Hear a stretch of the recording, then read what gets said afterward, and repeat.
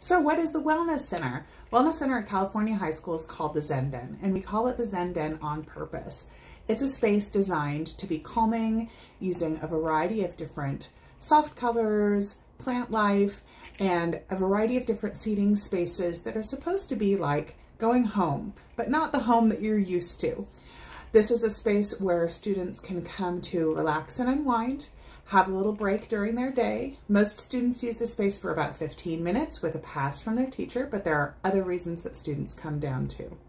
We're open from the beginning of the school day all the way through the end of the school day, including during part of B period. We offer support workshops during lunch, during tutorials, and have a variety of different activities that happen throughout the school year. We do projects like making glitter jars, or sometimes we even have comfort canines come in from our partners at the Humane Society.